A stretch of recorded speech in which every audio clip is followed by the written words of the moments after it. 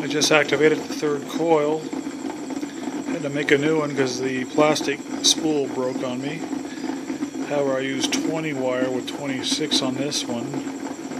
The RPMs jump from 85 RPMs with two trigger coils to 105 on a 14 magnet neodymium magnet wheel. You can see the battery's charging even faster now. Jumping around because this battery's about gone. However, I can use it as a drive battery or a primary battery with the uh, with the battery charger on 2 amps. See that the primary battery is at 12.10. It's been there for a while. However, it's slowly draining the power out of this marine battery. What I'm trying to do is get this one up point that it uh, will become the primary battery and then I can go ahead and bring these two batteries up in a 24 volt setup.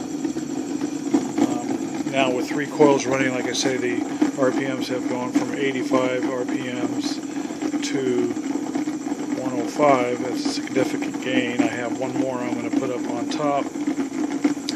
Hopefully that'll drive it up to 125 and then I'll start building generator coils. My goal is to get 12 generator coils, maybe 14, with four trigger coils running the Bedini Pulse motor.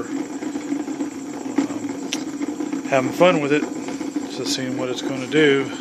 Eventually, what I'll do is I'll run the generator coils in a series and not have them charge batteries at all. Then run the marine battery as the primary, then switch it to the pulse and back to the marine battery to keep the generator coils going. Bridge rectify those and then put it into a grid tie inverter so I make power at night when the sun's out.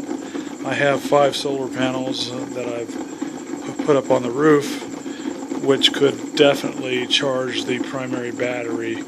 Uh, I need to get a solar charger and run a, run a wire down from one of those and then that'll just hopefully run this indefinitely. And I'll just make a bunch of energy grid tie it and charge batteries at the same time. Beautiful